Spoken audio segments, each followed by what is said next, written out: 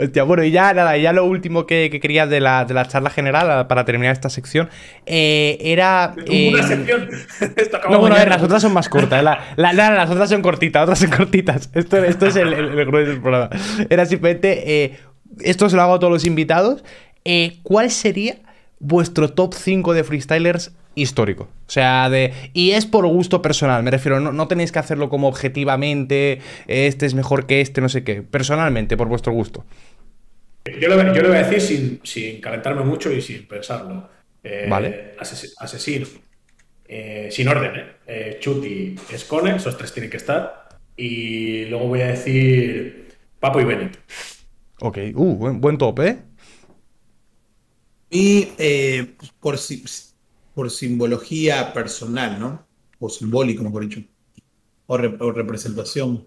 Eh, yo me voy con el B de los aldeanos. Me voy con Enciclopedia en su mejor pick en el 2007.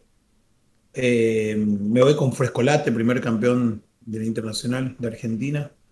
Eh, esos son mis, porque de ahí yo vengo, de ahí, ahí yo, yo, empezaba a competir ahí con, con ellos.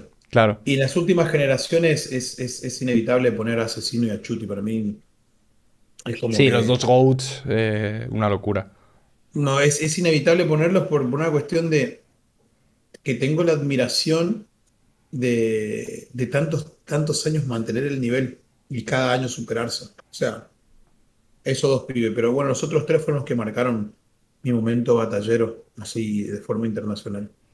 Y Biancucci, también una de Venezuela que también se va. Pero bueno, eso más o menos.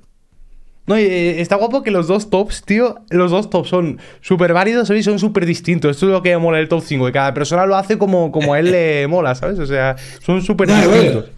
No, vos dijiste según su gusto personal. Yo a mí porque claro, por eso.